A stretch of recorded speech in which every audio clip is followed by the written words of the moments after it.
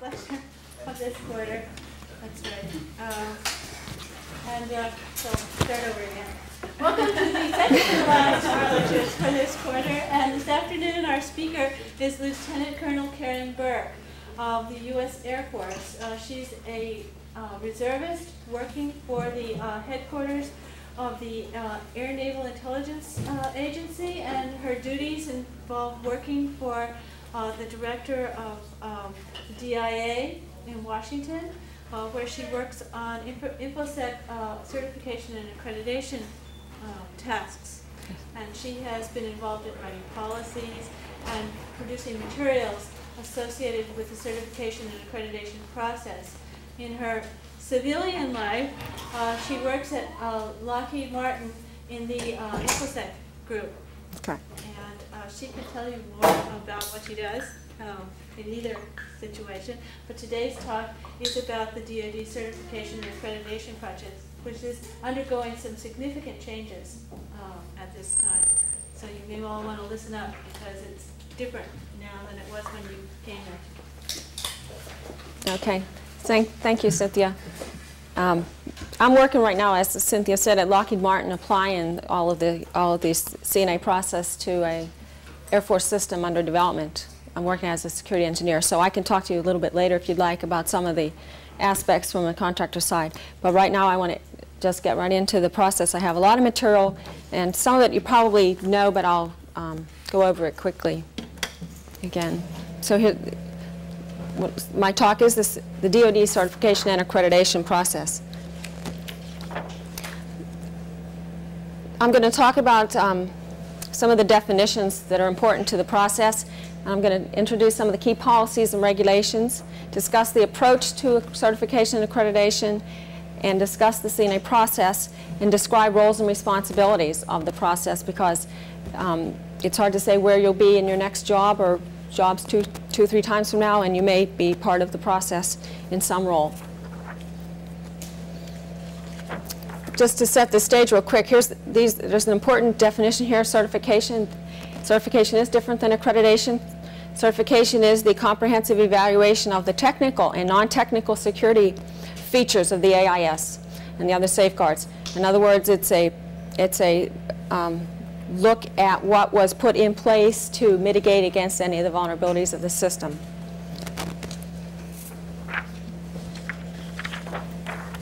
Accreditation now is a, a formal declaration by a designated approving authority that the AIS is approved to operate in particular mode of operation with a prescribed set of safeguards. What that is really is a management decision to operate the system and the accreditation authority accepts any risk that's involved that's remaining based on what the certification showed. One of the key terms is, which I mentioned, is the designated approving authority, and that's really the, the actual official who's doing the accreditation, that's accepting that responsibility. Yes. You? If you want, that's fine.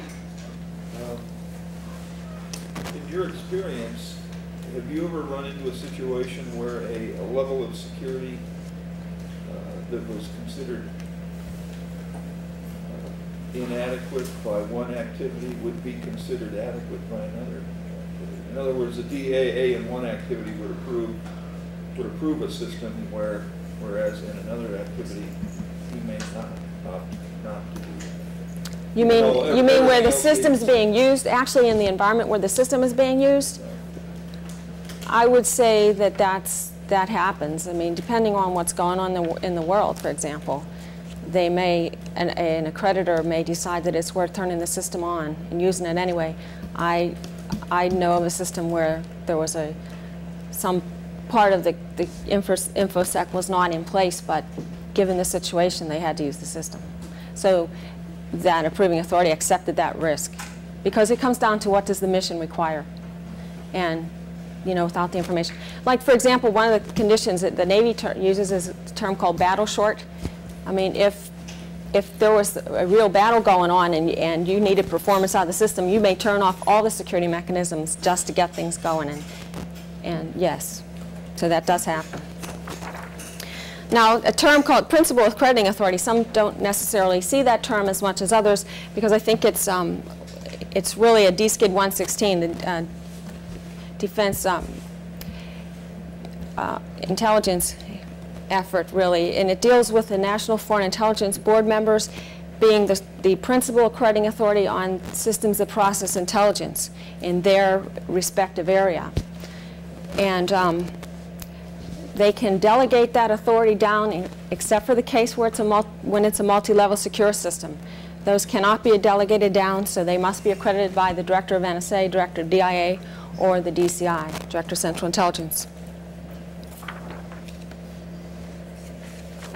Sometimes you have a, a, a situation that calls for a joint accreditation when you have multiple government activities that share the same AIS, or you have, uh, for example, you have a system that processes command and control data but also intelligence, and then you have to look at who would be the um, responsible DAA on the intelligence side and on the command and control side, and you do a joint accreditation.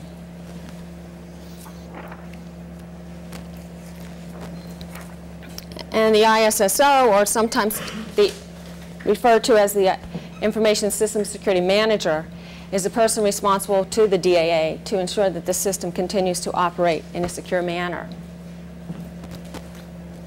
throughout the entire life cycle. Generally, the ISSM is, is located at the site where a system is installed or at a site where you're accrediting. Now, here's some of the policies you know, the C&A process came about because of all the policies and regulations that were written to require us to build these secure systems. Some of the policies were written by Congress, the public laws and national security decision directives. OMB actually has written security requirements or security policies. And then, of course, we have the OSD and NIST, NCSC, GAO, GSA, even in some, and the federal agencies have their policies too. But I'll just quickly mention OMB Circular A130 because that applies to everybody in the federal government.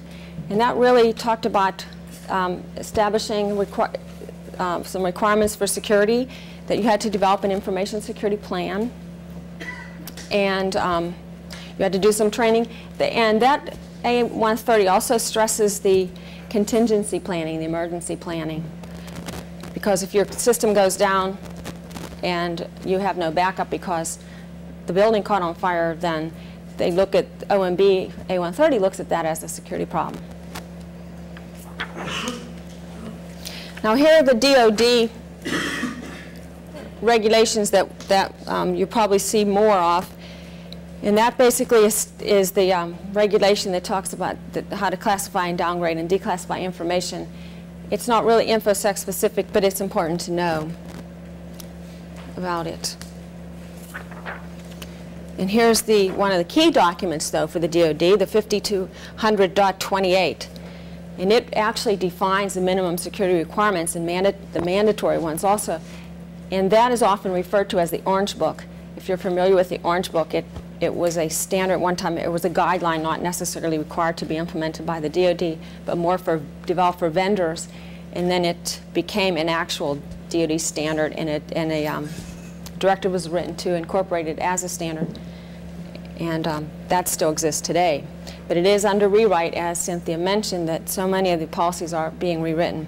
But today it, it's it a rewrite's in draft, but not finished yet. And it requires the certification and accreditation program. So as I say, these, these requirements all string together, or these policies string together and require certification and accreditation. And it stresses life cycle management, which I would say most of the DoD documents tend to do that. And it applies to all of the um, OSD, the military departments and services, and all of DoD essentially. Now the, the um, Director of Central Intelligence has a directive also, DCID 116. So if you're working with intelligence systems or, or systems of process intelligence, you have to follow DCID 116. So now you have A130 to worry about, 5200.28 and DCID 116. And it has requirements also based on the mode of operation, how you're going to, to run the system.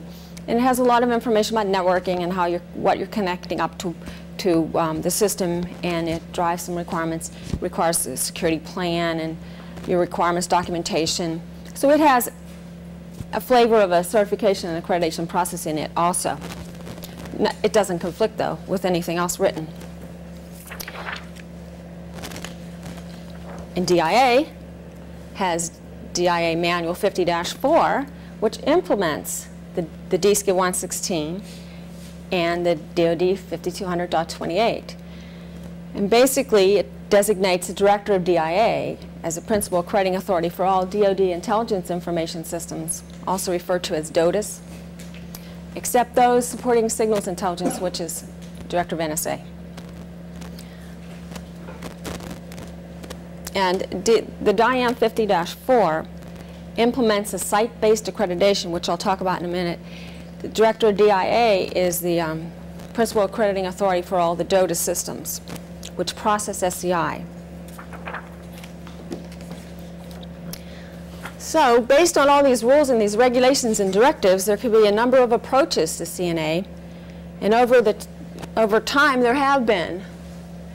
There's been a system-based approach, there's been a site-based approach, and we're moving toward an infrastructure-centric approach. If you think about the, um, I'll talk about these a little bit more, but these are some of the directives that, that map to those approaches. And um, GCCS is, and the DIAM 50-4 is more of a site-based, and the infrastructure-centric approach is now being done by the DITSCAP, the DoD Information Technology Certification and Accreditation Process. So I'll talk a little bit about what it means to be site-based or any of the other approaches. A systems-based approach is the system was built with the appropriate safeguards for deployment and operation according to its concept of operations. And it didn't necessarily look at what all was there because systems were fielded as independent systems back. A lot of times you had to have a workstation or for each indi- each separate system.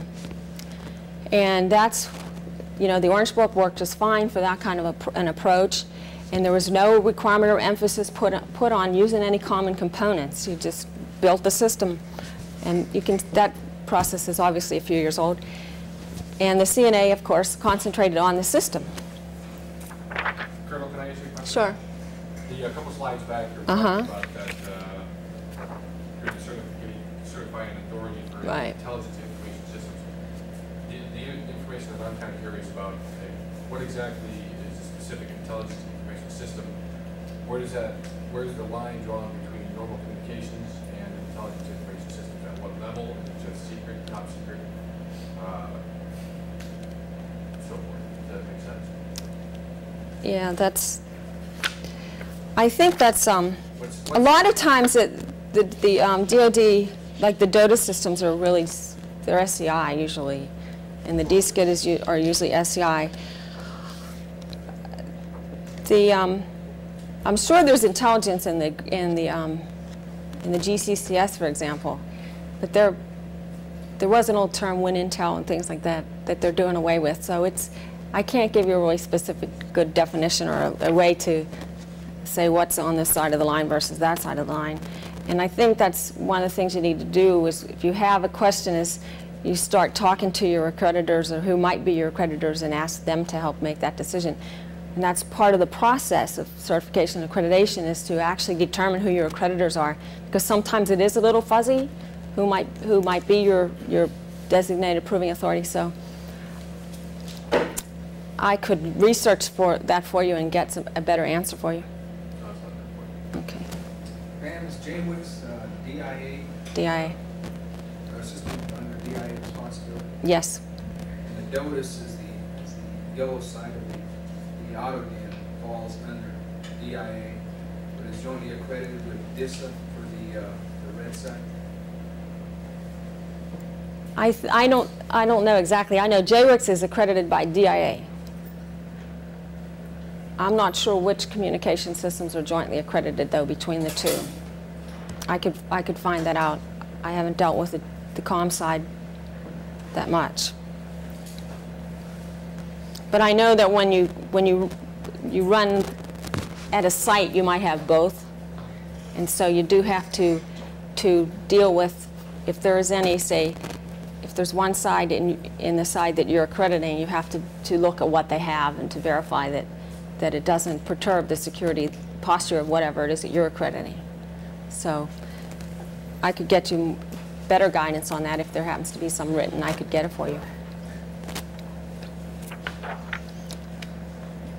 It sounds easy to do this until you get right down to it. And then you get there and find a, a site or a system there and you say, wait a minute, what's that system?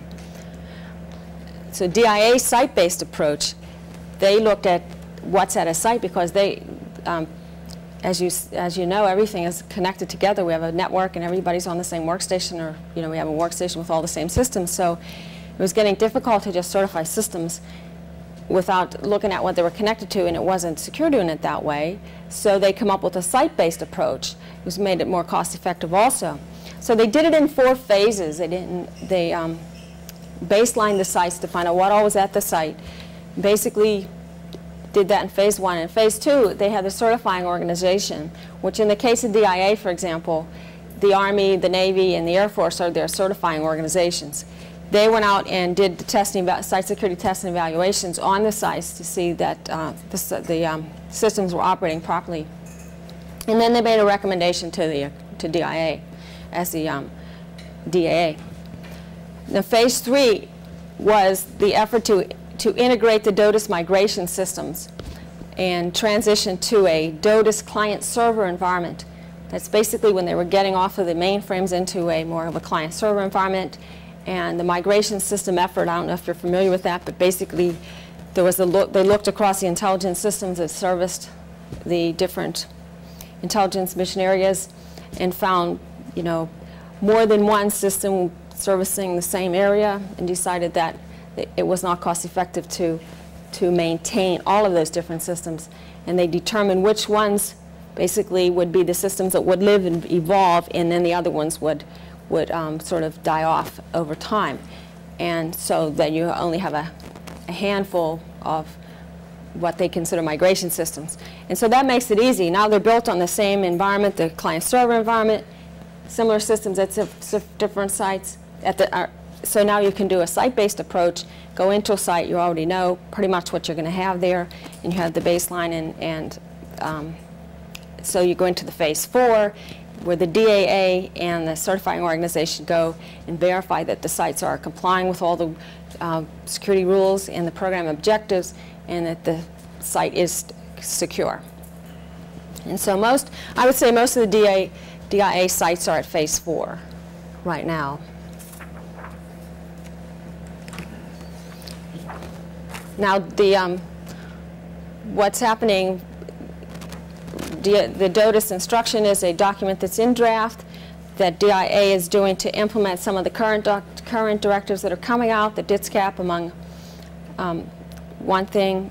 And um, so I won't talk a lot about that, but it's basically now prescribing compliance with the DII COE. So that's, that's basically what DIA is doing. Now we're moving to the infrastructure-centric approach, which is the foundation of the DITSCAP, the DoD um, Information Technology Security Certification Accreditation Program. And basically they're saying if we have a common infrastructure, we could look at what the residual risk is to the system. And um, if everybody uses the same infrastructure, then um, we'll, and we could look at the system threats and the information, and we could look at the mission objectives and decide whether or not the site is secure or the system is secure enough to run. And it goes, this last sentence goes back to what you were saying about look at the mission. How important is, is, is this mission? What's the value to the DoD? How much do you have to build, how much security do you have to put into the system to be able to run this mission? So it's getting to be, some, some call it the risk management as opposed to risk avoidance, which system, the system-based approach was. When did that concept first come into vogue, the centric system?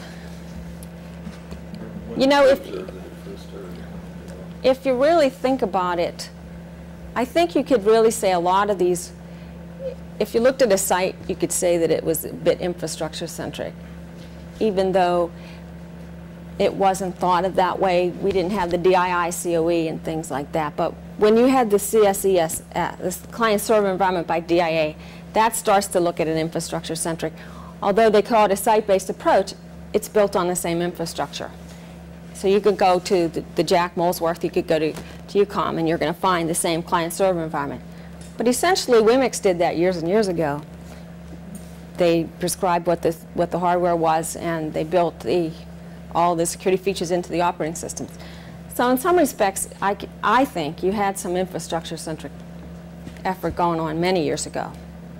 But it's, it's become the, the word now. So I would say we could look back 20 years and say it really started back then.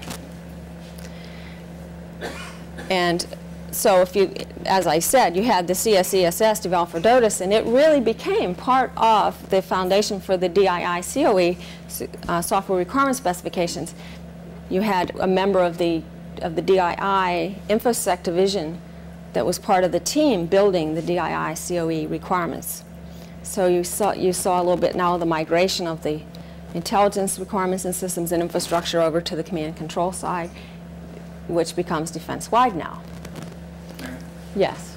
Do you see these evolutionary changes as being changes in the way we, we think and we want to work, or are they rationalizations for the fact that we can no longer dictate the market?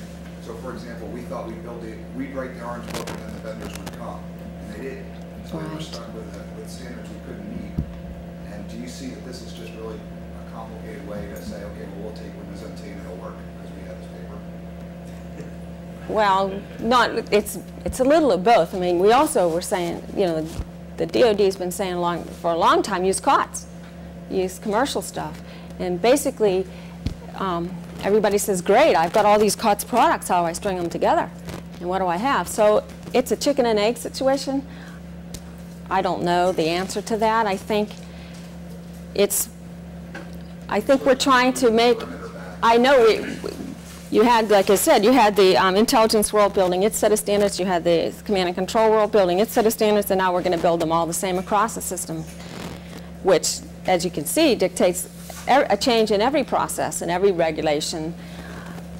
But I, I, I know that there was definitely a problem with vendors complying. It's not cost effective for them to build all this and get it through the evaluation process.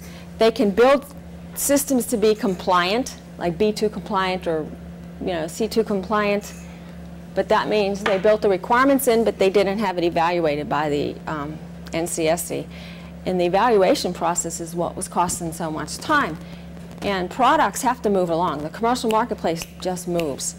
And they don't have time to wait for this evaluation, so they just press on and go come out with the next release. So I think there's a lot of that. I mean, and, and money, for sure, has dictated a change in process. You know, we just don't have the same amount of money to build all these stovepipe systems that we had and try to interconnect. Also, just trying to operate all these things. I mean, if you're sitting at, a, at your desk and you have all these systems that have to have their own little infrastructure, and you have to have a password for every operating system on, and you have four or five workstations, it drives you crazy. So I think, I think that, that the pace of the world and technology is driving a lot of the change in the process. Do you, have, do you agree? No, I, I agree with that. Well, I worry that, I, I worry we just keep lowering the standard until we can create a piece of paper that the DAA can sign, and that gives such a false sense of security to people who aren't informed. They say, yes, I have an accredited system, but in reality, it. Right, and that what that you know it becomes difficult to to write a risk assessment, for example, and because you have to get really to to do what you're saying to preclude that happening, you have to get very detailed, very technical in your risk assessment, and that takes digging into an operating system, for example, and um, I sometimes wonder you know, how you're going to do that, how you're going to, is it cost effective to do all that? So, so you accept some, some assessment by someone. In the DITSCAP, I think, the, the DITSCAP process itself is hoping to, to find, say, products or systems so that, that if they can tell you what the system does or what the product does, if you have an, an if you have a need for something that ha- meets those requirements, you can just go and get that system and use it or use parts of it. And so you don't have to then analyze everything because you'd, you'd already have an analysis built by whoever built that system or whoever designed that system. So there's a lot of effort going, going on to try to make all of this work. But, I mean, I agree, it's, it's fast. And, and if you talk to purists, and I, Cynthia can find plenty of those, because we, we've, um, know a few people that go to conferences that, and basically, you can't secure anything if you talk to some of them. So you just do the best you can and accept the risk. And you look at what's published, the, the cert advisories and stuff. You know, if a hole is found, you have to patch it and things like that. And that's, I mean, you just have to do the best you can. There's plenty of stuff written about NT not being secure, but you can see the movement to NT. It's happening. Because at one point, you're not going to be able to maintain the system if nobody supports it anymore. So you, you almost are being forced by the market to do things. So it's an interesting situation. We could talk about this all day. Yes. Part of the problem, going to this kind of thing where you get an approved hardware list. Mm-hmm. I just tried last week, the fastest machine I can find on the approved hardware list is a P two hundred. And I hope to God they still make them next week because everything else in the list you can't even buy anymore. And the box I have is not Y2K compliant, so Right. I'm stuck. Were you looking at the EPL, the evaluated product list, or what, what list Uh, were you looking at? different NDTs for the other end. Oh, okay.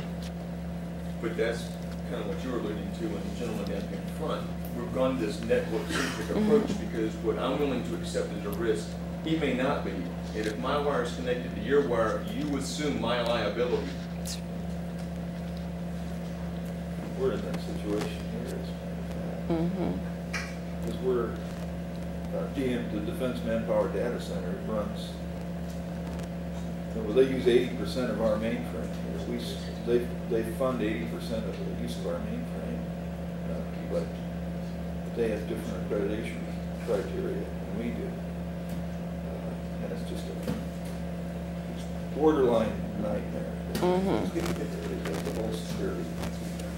I know. It's interesting, but it's challenging.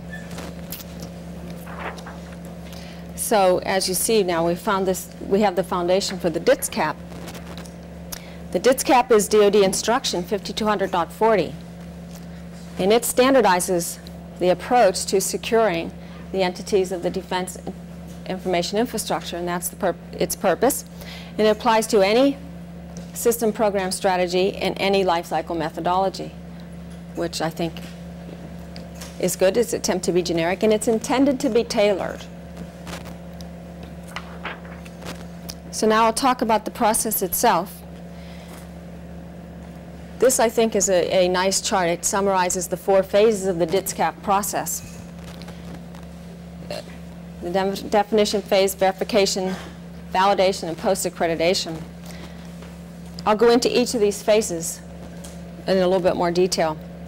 But as you can see here, in the definition phase is you define your, you develop your mission needs and analyze your mission needs, which we do. And now we develop what's called a System Security Authorization Agreement, which is um, an actual agreement that you sign, register the system, and negotiate the requirements. But I'll go, this is just a nice slide to have, and I'll show you the real busy DITS, official DITSCAP slide.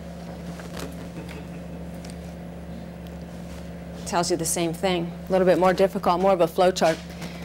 But I'll go into the phases so you understand them.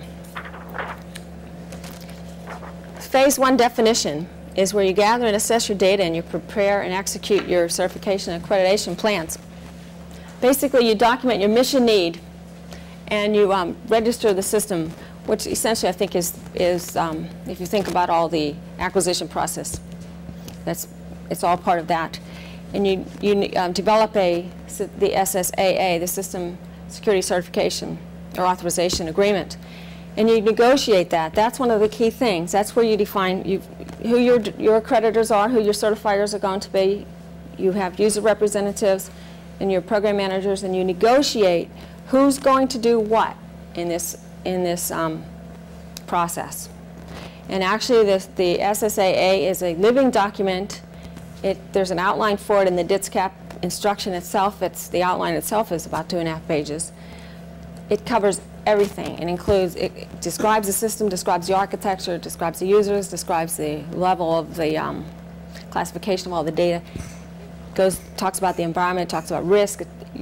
It's there. I, I have copies of the agreement you can have. I'll have Cynthia make copies. But basically, the DITSCAP process wants you to get agreement on this, that everybody agrees, so that, you know, you're down the road when you're in the middle of some part of this process, somebody doesn't change their mind and try to start something over. And that's, that's really a good thing. And, and um, so then you, when you have all that finished, now you don't have to finish that entire SSAA in this phase. You at least start it and get the parts of the SSAA finished that you can. And you can add to it. It's a living document. Then you move into phase two, the verification, which part of this process then takes that agreement and now looks at the system development activity. Looks at, analyzes the system, looks at how, this, what security requirements were built in the system and how they were built, and um, decides, you know, if they're adequate, and if not, maybe you have to go back and do some reanalysis. But basically, most of your, your whole system development effort, I would say, is in this phase.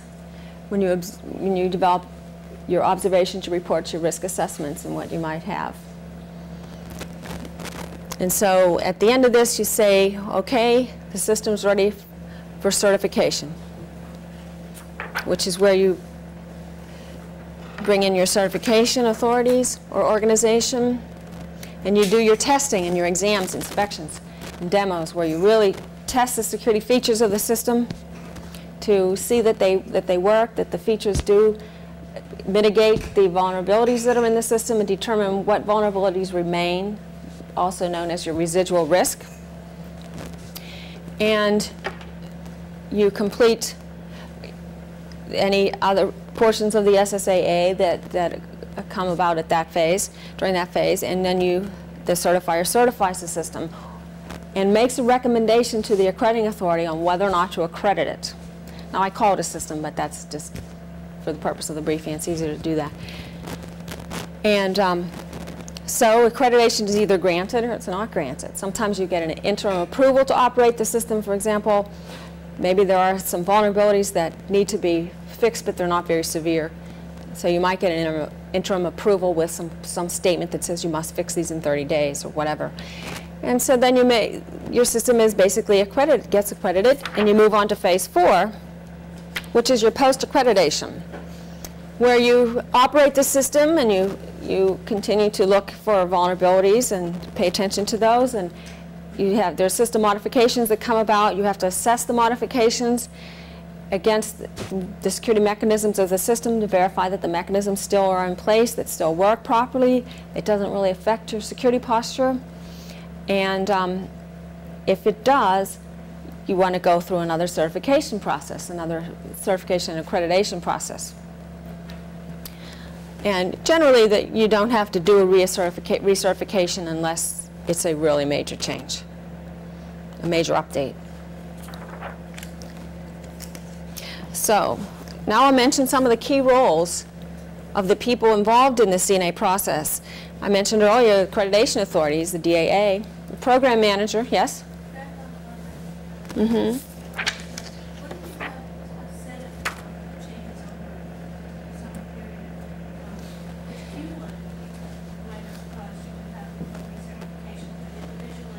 Right. Well, you have the ISSM, which is the Information System Security Manager, or is generally a member of a configuration control board, and it would be that person that would would always look at these changes to say yes, yes or no on how it affected the security posture. And I would say um, the current DCID 116, for example, requires a reaccreditation every five years. Now, how that's going to change, I'm not sure. But that would be something that would, would catch that problem, situation you're talking about where you've had changes over a period of time. But I think that if, if you were, say, two, three years into something and you had a number of changes, an ISSM, it would, would be um, perfectly right in saying, I want a re- reaccreditation. So it really comes down to that. Or if a DAA, for example, had seen it over a period of time, that there's been a few changes, the DAA could call for it. I mean, anybody really could, especially if you have this negotiated agreement where you have everybody talking and working with each other. And, and in reality, that does happen. The certifying authorities and the accreditors do work pretty closely together, and the sites do. The sites call the, the accreditors a lot and talk about their situations, and, and so sure, you could reaccredit a system if you think, I think we've had enough accumulation of changes. No problem.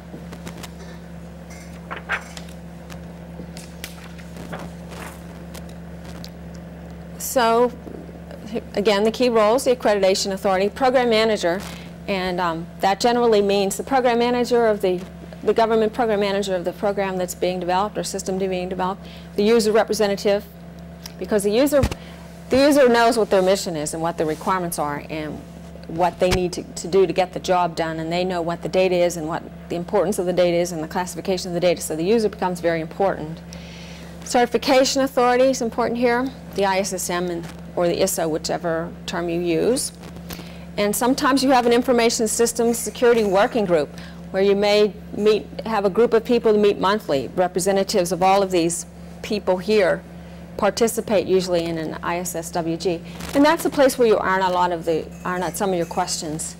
And if you have maybe two or three ways to implement some security mechanism, you might want to talk about that at, at ISSWG. In a test planning working group, that's an important group because they have to be involved in the certification, testing, evaluation, planning. So, uh, to give you a little more information about the accreditation authorities, here's some of what they have to do. They review and approve all the security safeguards and ensure that the um, safeguards are implemented. So basically, they review all the documentation that's written about the system and they make sure that there's an incident reporting mechanism in place. Each of the different directives require your incident reporting differently. I, the DIA has a, you know, has a reporting within 10 days or whatever, but each, and now with, with the situation that's going on there, incident reporting is, has been stepped up. Within 24 hours, things must be reported clear to DIA at, for the DODIIS sites. So you have to um, look at where you are and find out what your incident reporting situation is, what the requirements are. And you also have to ensure that the continuity program is in place, which is sometimes called COOP, continuity of operation. And you verify your system interconnections because systems are all connected these days. Here's some of the accreditation authorities. The Joint Staff, DISA, DIA, NSA, CIA, NIMA, FBI, Department of State, Department of Energy, and there's more on that top line. I didn't add them all, but they're basically all the NFIB members, which DCID 116 calls out the actual office symbol of the, N the National Foreign Intelligence Board members. And the commands, U.S. commands, services, agencies can all do accrediting. I think that, you know, this is particularly now with the DITSCAP, some of the accreditation, they're pushing accreditation down as opposed to at the higher levels. We used to do it at the, at the higher levels before you get someone from the joint staff. Now we're pushing it down to the commands because that, I mean, it makes sense. They're the ones who really have better feel for what the mission needs are and can accept that risk. Program managers have an important job. They oversee the implementation of all the security activities. They have to coordinate all of the security relevant portions of the program to include any, you know, the cost for the security and development and all the contractor efforts if there are any. Of course, they provide all the resources too, which is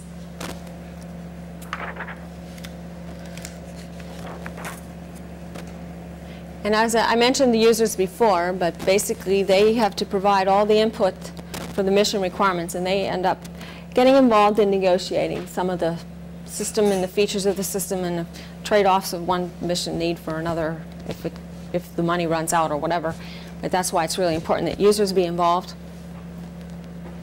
And they can be an individual or, or an entire organization, depending on what the mission is. And they also have to provide input to the SSAA, which is um, part of the, this agreement that's written.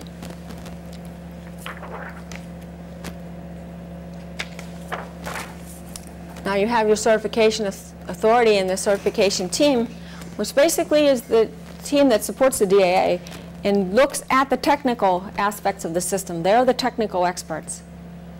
And they get very much involved in the, the testing and evaluation of the system. So they generally have a good understanding of all the technical volumes that are written about the system. And they are the ones who, in the end, make a recommendation on accreditation. So you can see they have to be pretty up on what's going on, and they generally get involved in the beginning phases and attend all the reviews, read all the documentation.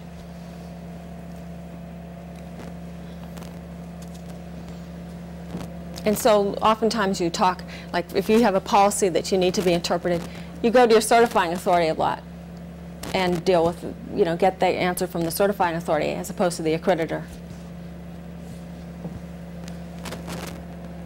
Okay. And then the ISSM or the ISO is basically in charge of directing all the security activities.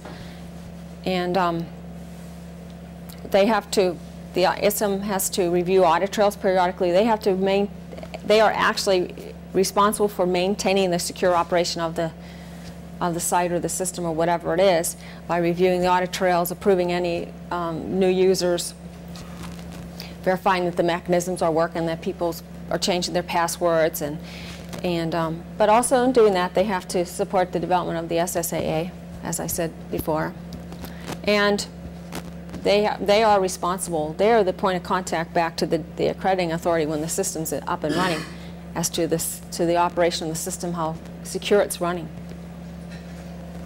and they assist the team when they come out.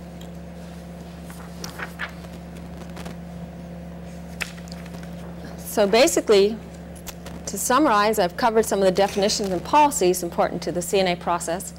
I gave you an overview of the C&A process. As I say, it's moving towards a more standardized, organized approach, which is the DITSCAP. And um, you can, I think you can see that the prior C&A efforts were used in the development of the DITSCAP. And um, I gave you an overview of the roles and responsibilities. Now I have a lot of backup slides which go into great detail on each phase of the DITSCAP. They really are pulled from the DITSCAP course. There's a whole course on the DITSCAP itself. But I think what I'll do is take a couple minutes to talk about what the DITSCAP is doing to the world of all of these regulations. I'll turn this off. Is that right? Okay. Oh, this one. Okay, good. The DITSCAP was signed in December. It's been probably in work for since about 93 or so. And there was another effort being done by the NCSC called the Certification and Accreditation Handbook for Certifiers, and it was a document that was being written at practically the same time as the DITSCAP. And so there was a, um, a decision to harmonize the two documents. And so there were a number of meetings where the people, advocates from both documents, sat around and talked about what to do. The SSAA, for example, had a different name. It was called a certification agreement. But basically the contents and the outline was in the certifica certification or the C&A process handbook. And now you see it in the DITSCAP with a different name, but pretty much the same content. So that's part of this harmonization effort. The decision was made at the DoD to use the C to publish and use the C&A process handbook for certifiers first while they finished the DITSCAP. So it was the near-term solution. Now the DITSCAP was the long-term solution, and it was now published in December. And it applies to all of the DoD. Excuse me. DoD 5200.28 is being updated to include that. I haven't seen any draft of it, but I know that there are drafts out. And so then you have the DCID 116, which is in the process of being changed and, and updated also. And it also talks more about levels and certification levels and assurance levels that you find in the DITSCAP and also in the common criteria. So you have, so that's being updated. The DODIIS instruction, which is DIA's implementation of the DITSCAP, is in the process of being written. So you can see that all the C&A regulations and instructions and manuals or whatever are all in a state of rewrite based on the DITSCAP. And it was pretty strong when the DITSCAP came out in December that it applied to every DoD system. And um, I think if you've been around for a while, you've, you've seen the intelligence community march down a path with some of its own rules and regulations in the command and control world and down its path, but it's all one path now. And um, so they're trying, everybody's trying to implement it given their own missions on how to do it because the intel community has its, its interfaces with other parts too, so you can't just take everything, yes. Um, Well, it's been required for uh, many years, I don't know, 10 years, that every system be accredited. Right. And yet, um, the evidence I hear from officers that pass through here is that it's kind of a joke. Um, That inspections coming through, they so they throw something together. It really, it's- it's really not done. I'm sure it's done properly in, in many places. I can't give any statistics, it's just all anecdotal evidence. So what is being done, it seems to be important to people high up, to make sure that it's done properly, to enforce it effectively. Well, I don't know. There's a lot of things that, are, that they try to do. For example, if you look at this C&A process and where it fits in information operations, I would say it's an information, it's a, a defensive situation. It's an information warfare defensive type mission. Or, inform, or it fits under information assurance. There's a lot of talk about an effort to grow that information assurance effort in the DoD, but I read in the paper that it, the, the budget for it went to Congress and it was cut on one side or the other. I forget the House or the Senate cut it to zero. The other one didn't. So now that that has to be negotiated. It's a, it's a real dilemma as far as I'm concerned because there's, there's part of the community saying we have to do it, another part of the community zeroing it out and not doing it. But, but the other part of why some people, where it appears that some people brush it off or pass it through or whatever, a lot of it is resource problem, a resource problem. If you're sitting at a site that, and, and with the downsizing, with everything that's going on, there's just too much work to do. I mean, do more with less is not, I don't think is working too well. And I mean, I know that people cram at the last minute to get ready for one of these. I certainly recognize the resource is a major problem because it is an extensive process to go through if done properly. Mm-hmm. But, But, yeah. um, so on one side, we're coming out with these new procedures on doing stuff, but on the other side, we see budgets, budgets being cut. It seems like somewhere, there's a disconnect. Well, I think that, you know, the DII COE and all of this, this effort to make a common infrastructure probably is an attempt to solve some of that or to alleviate some of that. If you had, if you had common software that you were running or common approved, uh, an approved list of, of um, hardware or software that you could use, then it would at least lessen some of that effort that's required to do, to do your, to keep your site up to, to uh, date on your security. And if you, if you establish a baseline and you have a good, strong configuration control procedure that every time something changed you did document it, then it shouldn't be such an effort at the end.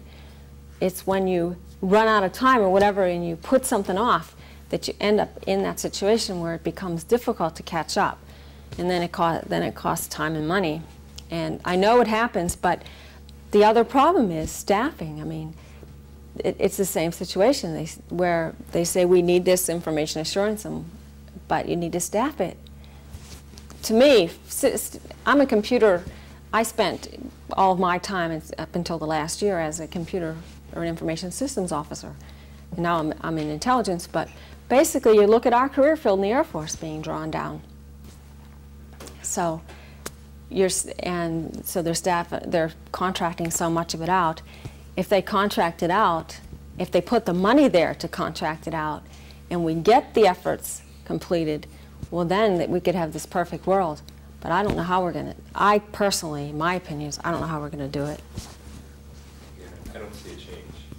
We- We've got new procedures, but I don't see a change. I don't know. I mean, I, I think that they're trying, they're doing their best to try to do it and make it simple and make it more cost effective to, to do it. And I think if they think if they, if you could streamline the procedure some, get everybody on board in the beginning with signing these agreements, it might be easier in the end. Because I think part of the problem occurred when um, people didn't participate in things in the beginning, didn't participate in the development, and came in in the middle somewhere with some new requirement. It perturbed everything. But by getting an agreement signed in the beginning, then that maybe precludes some of that. But does it solve it all? Probably not. But some of it, but like they come out with an NT patch every week. Like, Trying to, to keep up as a system administrator on what's the latest patch and which patches require patches and still Mm-hmm. be able to handle the service calls you get is darn near impossible. I know. Um, And I work for Navy Command, and Navy's made the decision pretty much to go with NT. And you talk to the mm-hmm. administrators, and NT requires twenty-five percent more system admin than a Novell system. But they didn't look at that, and they're looking No. to cut the, the number of people. What they look at NT probably in its market and where it is versus Novell. And they say, well, there's a big market share for NT, let's go to NT perhaps. I mean, that may be part of the decision. And I know what you're saying. It doesn't necessarily mean it's Yeah, easier, did The same thing with faster. DMS, and they said, thou shalt use exchange, we're not gonna give you Mm-hmm. the option. Right. Karen, in your experience, is the life cycle management being, process being applied anywhere in the DoD? I know we don't apply it here. You mean, well, I- And I would think, if you take NT as an example, um, people who mandated that we uh, shift to that under IT twenty-one um, must have had some feel, or at least considered what the impact on manpower was going to be on training. And yet, there's been no al- allocation of resources to- to accommodate. I'm not, I'm not sure I would go as far as saying that they looked at all those things when they changed NT. I mean, it would be interesting because how would they justify, you know, the expenditure of additional manpower resources, for example, versus some N95 extra patches versus what they had? I mean, I don't know. I don't know how these processes are being done, how this, the thinking and the analysis is done. I can't answer that, but it's, it's just happening. Is And- life cycle management a, a, an issue at- in your experience? I mean, do people actually try to apply those principles where you think? In the bigger systems, they do. Contractor, I'm working for Lockheed Martin on a, on a system, and we look at it. We look at the lifecycle management. One of the things we have to do in building the system, building the security in the system, is to look at the lifecycle maintenance of it. Is the system easy enough to maintain? I mean, if you build the security so complicated that that you can't, no one can maintain it, then our creditor's not going to credit the system.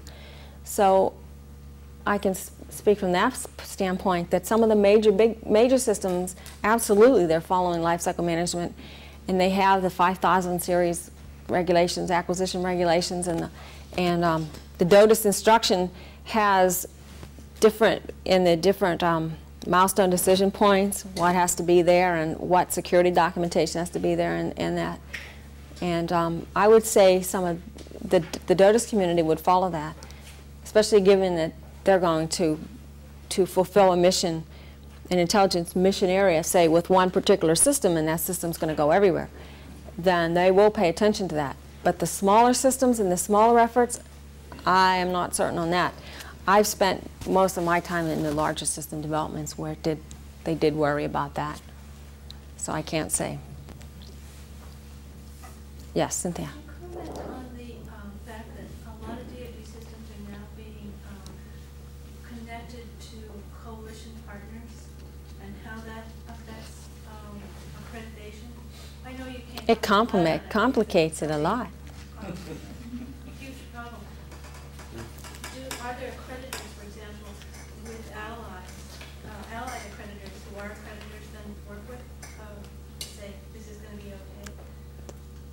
figure out whether we want to connect with somebody else or not. I'm not sure I can answer that fully, but I, and I'm not sure about the allied creditors. I know that some of the systems do have releasable information that gets released to foreign nationals. Some of the systems, for example, um, run on your network that have releasability to multinational forces and things like that. So every system is looked at specifically and how it's going to operate and how its information is, is input and output, input to the system and output from it, and um, its connectivities to other systems. So everything is really based, the decisions are based on the individual system and the application and the environment. So I don't know if there's any standard policy written on it yet, which maybe that would be something they ought to consider. And um, as far as the other countries are concerned, I know there's some countries, I'm sure, that have accrediting or C&A processes like we do. The Brits probably do, for example, but I don't know about all of them. And then when you get into some of the multinational forces, you wouldn't necessarily have an accreditor from each country. You might have one that represents all of them. So that gets a little bit more complicated because now you have to look at the policies across the countries. So it, everything is done on an individual system basis at this point, I would say.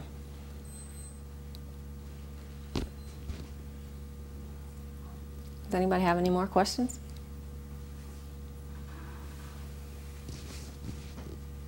Well, thank you. Stay tuned for all the latest regulations. And if you, there's, like I said, there's a DITSCAP course if you want to take it. You can spend a couple days, probably. I don't know how long it is, but Cynthia will have some more backup slides if you want any more information. For the, yeah, for those of you who are uh, really interested in, in delving into this more, we've got the DITSCAP, we've got the backup slides, and, and the slides that uh, Lieutenant Colonel Burke uh, presented here uh, today. And uh, she'll be here for a little while longer, so if you want to come down and, and discuss the accreditation process, uh, please feel free to. So I'd like to thank her for taking the time out from her busy schedule and coming down.